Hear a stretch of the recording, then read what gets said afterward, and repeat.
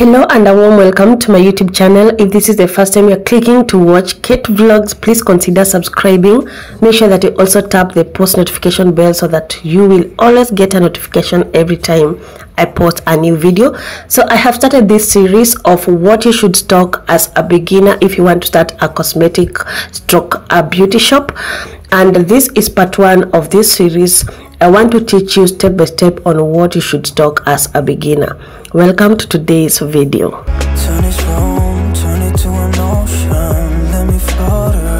The first category of cosmetic business that I'm going to talk about today is the perfume refill business. Perfumes are imported in these silver canisters and also some come in gold canisters which are the best method to store these perfumes to avoid them losing their fragrances.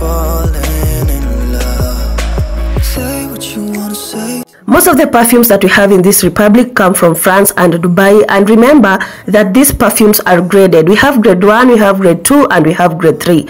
You have to be very very careful when you're dealing with perfumes because one error can make you lose all your customers.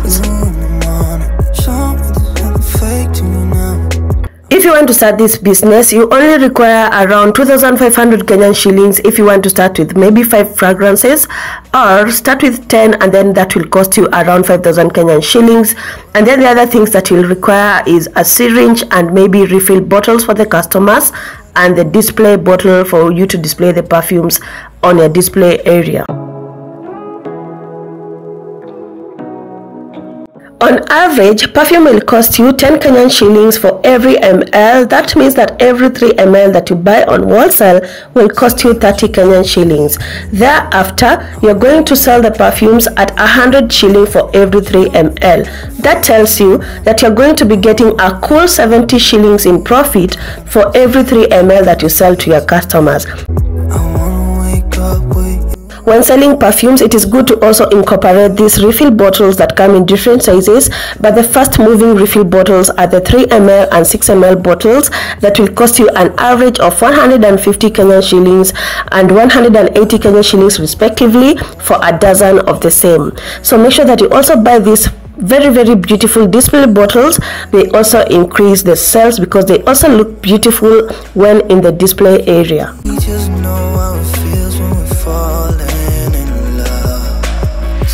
Before starting a perfume refill business, always remember that we have thousands of fragrances out here. We have female perfumes, we have men perfumes, and we also have unisex perfumes.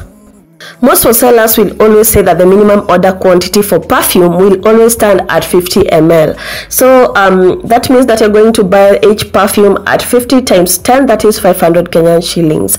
I also sell perfumes at the same rate 10 shilling per ml and the minimum order quantity stands at 50 ml per fragrance and for you to buy from me the minimum order stands at 6 fragrances for beginners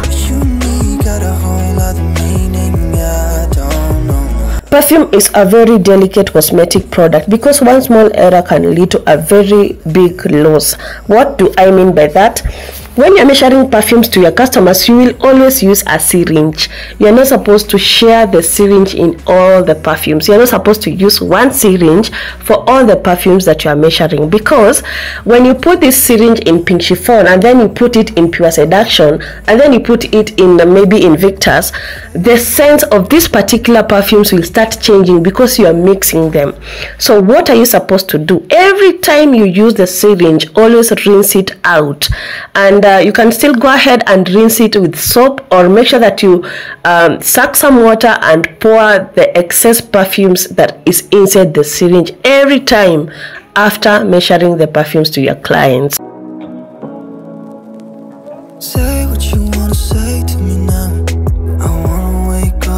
My take home message to a person that wants to start this business is that perfume is very profitable.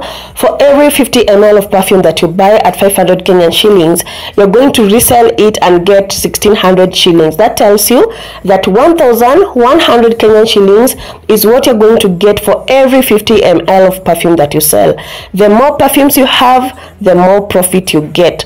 So if you have maybe uh, 20 perfumes, you're going to get 1100 times 20 in terms of profit.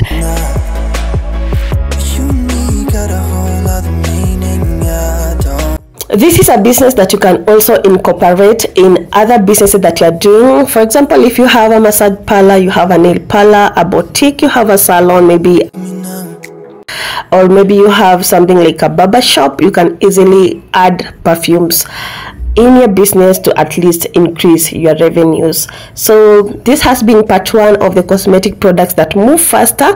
I'm going to also upload other videos in the consecutive days. And um, i hope that you have enjoyed. You've learned something. Let me know what you think about this video on the comment section and if you have not followed me in my other social media platforms i always use the same name kate vlogs on tiktok kate vlogs on facebook and on instagram. So please subscribe make sure that you turn on the bell button. Let it be on so that at least when i'm uploading a video you'll get the notification immediately. Thank you so much for watching. I will see you on my next video. Bye